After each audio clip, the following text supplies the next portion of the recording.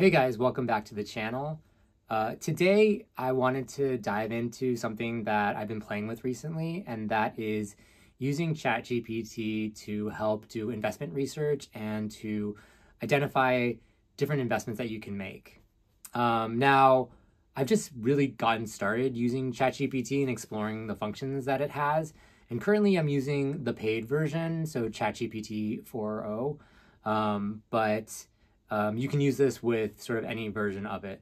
Um, this might have a little a bit more functionality than the one that's free, but this should give you just a general idea on how to approach using ChatGPT and other large language models um, for research in general and for sort of your um, investment portfolio. So, like all large language models, I think it's kind of a black box. I found myself asking, what do I even do with ChatGPT?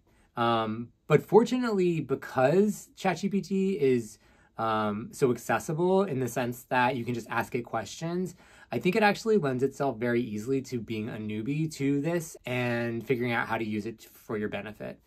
Um, so, the first thing I would say is as a first step, start by asking really broad questions. I'll go through what I did in this example of what I want to invest in in the year 2025. Um, so, the first question I asked was What are some investment strategies for 2025?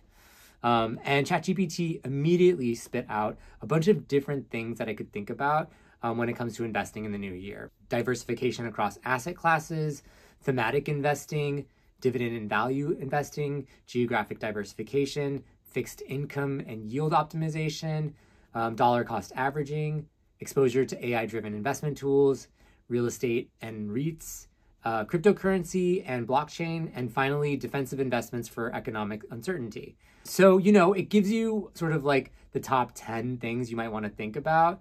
Um, and this will immediately just give you reference points. So, what's great about ChatGPT and these other large language models is that they can help you discover what questions you don't even know.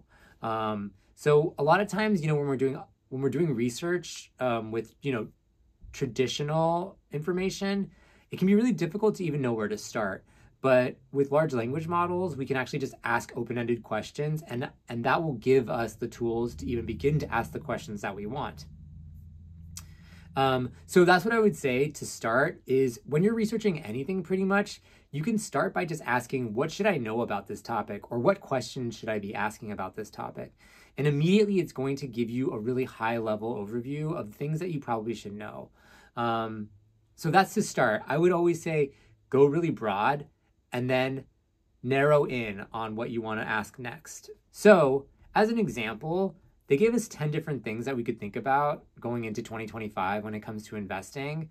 Um, so, I picked one of them, and one of them was um, investing in value oriented stocks. Um, so dividend and value investing. And so what they said was with inflation moderating, dividend paying stocks and undervalued companies will offer stable returns. Um, so consider sectors like utilities, consumer staples, and financials. So, you know, as we looked at some of the different sectors over the last year, we saw that some of the more undervalued sectors were utilities, consumer staples, and financials. Um, similarly, to another point that it made, real estate is, is another example. Let's say we want to now drive into value stocks.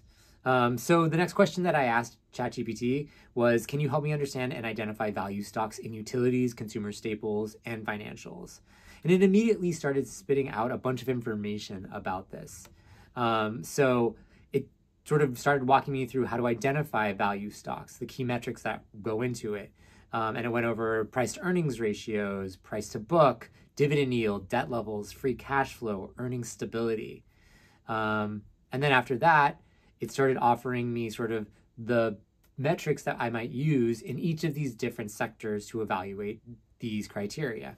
So, you know, PE can mean many different things in different sectors, but it identified both PE, dividend yield, and PB where they should be to be considered a value stock within each of these sectors, and they're different for each sector.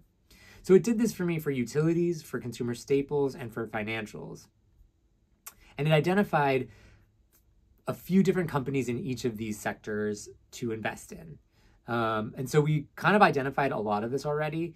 Um, but if we wanted to drive deeper, we can all of a sudden just ask the question to ChatGPT. Um, so after I had looked at all three of these sectors, I decided that I wanted to drive into utilities stocks. Um, so all I did was I asked, can you help me identify utility stocks that fall into the criteria for value? And those were the criteria that ChatGPT had outlined for me. And so what it spit out was a group of five different stocks that it had identified as meeting the criteria for value. Automatically, we had sort of already turbocharged the process of identifying stocks by by just asking ChatGPT instead of you know going to a stock screener or uh, creating um, a watch list on any of the brokerage platforms where we had to decide what criteria we wanted to use. We very quickly um, asked ChatGPT what the criteria was and then to evaluate stocks based on that and identify certain ones. You know, sometimes it's it's really nice to be able to organize all this information. Um, so, you know, we know that PE ratios, dividend yields, and PB ratios are important, but we wanted to be able to compare them across the different stocks. So, one thing that ChatGPT does fairly well is it organizes information across various uh, sources into single tables. So, what I asked it to do is could you organize these stocks into a table with PE ratio, dividend yield, and PB ratio? Um, and it immediately summarized it for me. Um, one thing to note is that I found that the perform I added performance in as one of the columns, and I found that they weren't always completely accurate. So you know, the one caveat on these large language models is that they're pulling information, and they will generate that information regardless of whether it's accurate or not. Um, so it's always really important that when you're when you're citing sort of any of the numbers that you're using to purchase securities or ETFs that you're double checking a lot of these numbers. Um, but for the most part, it's a good, quick way to organize the information um, as a starting point. Um, so you can see that it did um, organize it into a chart for me, which was very helpful. Um, again, I wanted to go back through and check different different metrics to make sure that they were correct.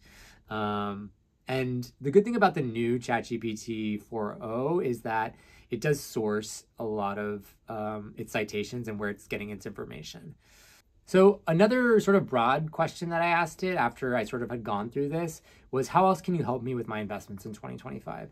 Um, and ChatGPT basically outlined 12 different ways that it could help me, um, including, um, you know, portfolio analysis and diversification, investment screeners, um, scenario modeling and back testing, um, tax efficient investing, uh, goal oriented planning, ETFs and fund analysis. Um, so you know it can ask, it can offer you just a wide range of tools um, to to to basically learning about any topic, including investments, um, and then implementing the strategies that you want to use. Um, so you know you can ask very specific questions as well if you know your if you have very specific needs, like you need to generate um, a certain amount of income or you want a certain percentage of your portfolio to be allocated to a certain company, it can help you sort of create a customized portfolio for you. Um, and so, given sort of special needs, um, it can sort of start to customize different um, different advice for you. So another thing that I asked it was, what are some macroeconomic factors that will be at play in 2025? Um, and so it outlined a few different things that we should consider as we go into the new year. You know, it went into macroeconomic trends like global interest rates, inflation, economic growth, geopolitical tensions, um, labor markets and wage growth, energy markets, um, technology and AI, um, and it basically just sort of outlines sort of key things to keep in mind as we move into the new year. So I asked it, what would be a portfolio of 10 ETFs that might outperform the market? And it sort of started identifying specific um, areas of focus, including, you know, a broad market exposure, growth and innovation, dividend and value ETFs, um, international and emerging markets, thematic ETFs. Um, and it outlined a portfolio for me of 10 different stocks that I could that I could um, use to create a portfolio that might outperform the market. Um, and it gave you reasons why this might be a good portfolio, including diversification, growth potential, defensive value and income, and then global opportunities. So it's really starting to think about how to position a portfolio um, for the current market trends. Obviously, it would be interesting to see how this portfolio does at the end of the year um, compared to, say, just a regular S&P 500 portfolio. So that's something that might be kind of interesting to track um, over the over the over the course of the year. Um, but anyway, I think what's important to know about ChatGPT is that you can start really broad by asking what questions you should ask. So if you know that you have a topic that you want to learn about, you should start by just saying like, what are the top 10 things that I should ask about or know about this topic? And then from there, you can start to drill in, even having open question, open-ended questions with within each of those different things that, that it suggests. Um, so what's really great is that you don't really need to know a lot or even know what you don't know um, when it comes to ChatGPT. You just have to know that you want to learn about something, um, and it can really guide you and help teach you what you need to ask and then what you need to know. Um, so yeah, this is a very simple explanation, but is how I've been using ChatGPT lately. Um, and this sort of like approach can apply to sort of any topic that you want to research. So I hope you found it helpful and let me know if you start using ChatGPT for sort of any of your research.